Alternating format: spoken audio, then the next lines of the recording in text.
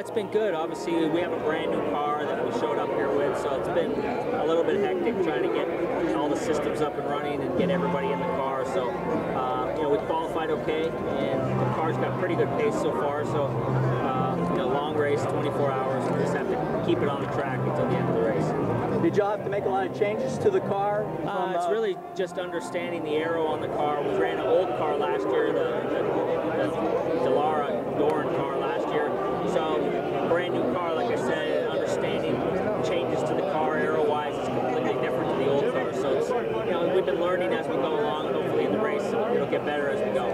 What's the major difference in the two cars? Uh, I mean, not a ton of difference. It's just the whole aero package of the car is different. So, you know, there's no uh, book that tells you how to do it. You got to learn it yourself. So, you know, we're learning as we go.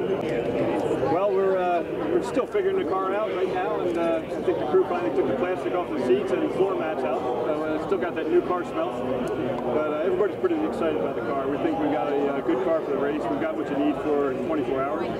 If we keep it clean, it on the blacktop, uh, we're thinking the 77 Doran car has got a good shot this weekend. And uh, yeah, any major changes to the car from yesterday or from the weekend? I don't think there's anything from yesterday. I mean, we the first time this car turned a wheel was Thursday morning, and we've obviously done a lot of uh, work on it since then. But there's uh, not been huge opportunities to make big changes. So we've had to take little bites and, uh, and work on setting up for Colin for qualifying and uh, set up so now all have car for the race. But we think we're ready.